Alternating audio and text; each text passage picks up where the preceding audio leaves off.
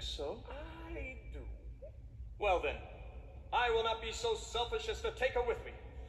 In justice to her, and in consideration for you, sir, I will leave her behind. Ah, uh, ooh, no, no, no, no, Frederick.